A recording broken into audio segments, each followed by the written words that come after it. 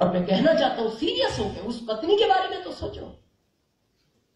मैं किसी चीज़ के विरोध में नहीं हूँ। आप एक डॉक्टर बन जाओ, पाँच लाख पर मंथ इनकम है। आप एक इंजीनियर बन जाओ, पंद्रह लाख पर मंथ इनकम है। आप कुछ भी बन जाओ। आपका टैलेंट आपके साथ चला जाएगा। जिस दिन आप जाओगे, ये पाँच लाख आपके साथ गायब हो जाएगा। नहीं मिलेगा इस परिवार को अगले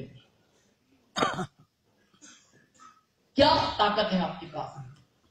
बहुत लोग सीना चौड़ा करके घूमते हैं। मैं विरोध में नहीं मैं आपसे प्रश्न पूछना चाहता हूँ क्या इस डॉक्टर के पास ऐसा कोई ऑप्शन है कि तीन महीने बाद इसका रिटायरमेंट है और ये अपने बेटे को कोई ऐसा इंजेक्शन लगाए कि तीन महीने बाद इसका बेटा इसकी जगह पाँच लाख पर मंथ कमाने लगे नो no.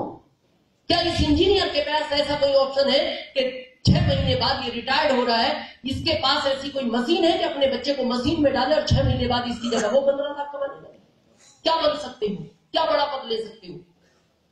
इस देश के, यहाँ के मुख्यमंत्री बन सकते हो, देश के प्रधानमंत्री बन सकते हो, राष्ट्रपति बन गए, बड़ा पद है, आप राष्ट्रपति हो। और पाँच दिन बाद आपका कार्यकाल खत्म हो रहा है। ऑप्शन है आपके पास अपने बच्चे को ऐसी टैबलेट खिलाओ कि पाँच दिन बाद आपकी जगह ये राष्ट्रपति बन जाए।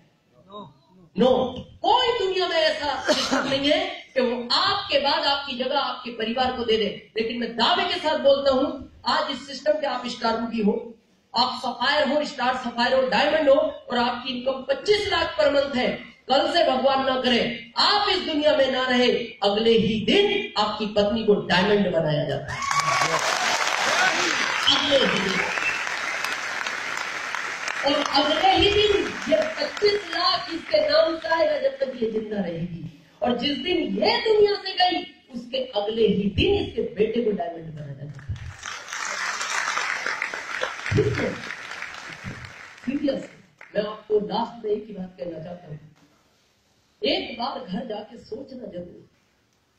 उस पत्नी के बारे में उस बच्चों के बारे में, उस माता पिता के बारे में।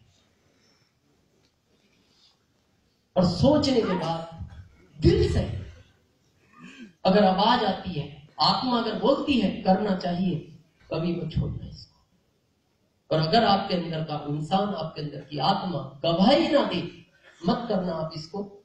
आपने हम सबको सुना। इसके लिए हम आपके बहुत बहुत आभारी हैं। Thank you